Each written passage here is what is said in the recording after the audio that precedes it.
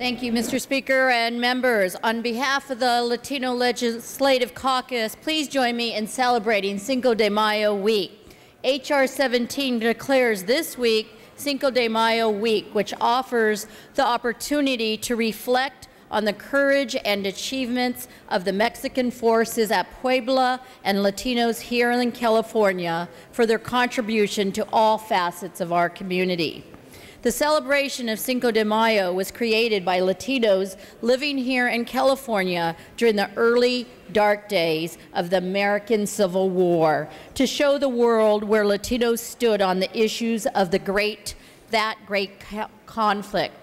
Latinos opposed slavery and supported freedom for all by the abolition of slavery.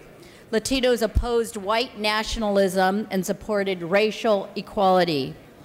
When the very exist of the existence of the earliest democracies were threatened, the United States by the slave state rebellion and Mexico by the French monarch's invasion, the Mexican victory over the monarch's troops at the Battle of Puebla on Cinco de Mayo of 1862 energized Latinos in California to increase their support for Lincoln as, as well as Juarez.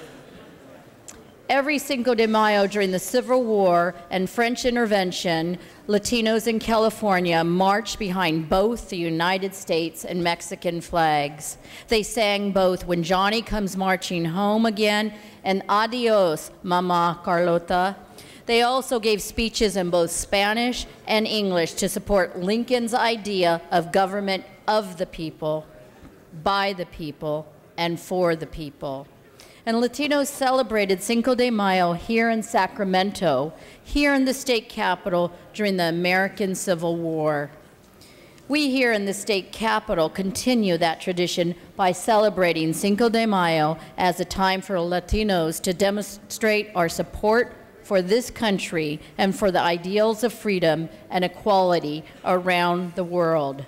Cinco de Mayo reminds us that the foundation of any nation and our state is its people.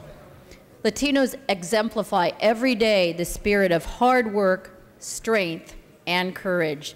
They show this by their willingness to sacrifice, to sacrifice life itself in the pursuit of freedom and liberty.